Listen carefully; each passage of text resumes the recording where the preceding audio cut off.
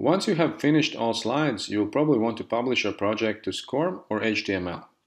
In this video, we will show you how to publish SCORM package. First, save your project. Then go to File, Publish Settings, and under Quiz, you can find reporting options. Check the Enable Reporting for this project checkbox to enable the settings. Below you can choose which SCORM version you need, SCORM 1.2 or SCORM 2004. For this tutorial we will choose SCORM 1.2. Here you can adjust other settings as well, but for now we will click on OK. Next, click on the Publish button in the upper navigation bar. Choose Publish to Computer from the drop-down. Here you can see that it will publish as HTML and you can leave it that way. Here you can change the project title.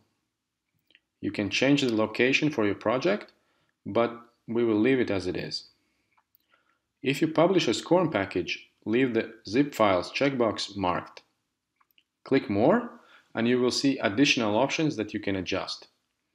There you can see that the reporting is enabled and e-learning output will be a SCORM 1.2 package. The only thing left is to click Publish. Once the publishing process is successfully completed, you will receive a confirmation window. Click OK and you're done.